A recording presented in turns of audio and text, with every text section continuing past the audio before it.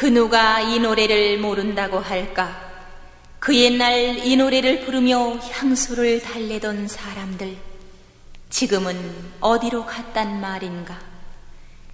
나라를 잃고 고향을 저버리고 이국 타향의 서러움을 삼키며 살아야 했던 그 시절의 노래 타향살이. 어느 때에 이 노래가 이 땅에서 사라지겠는가? 진정 남북의 통일, 민족의 통일이 하루속히 이루어져야 하겠다. 타향살이 몇 해른가 손꼽아 헤어보니 고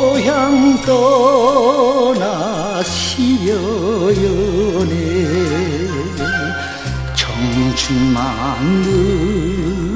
늙어. 부평 같은 내 신세가 혼자도 기막혀서 창문 열고 바라 하늘은 저쪽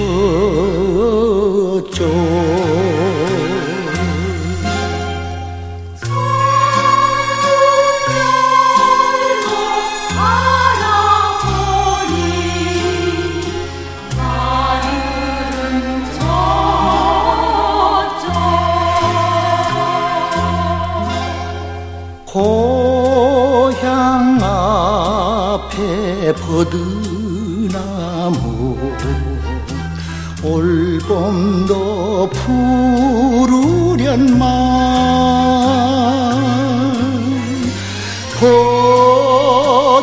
피리 꺾어 울는 그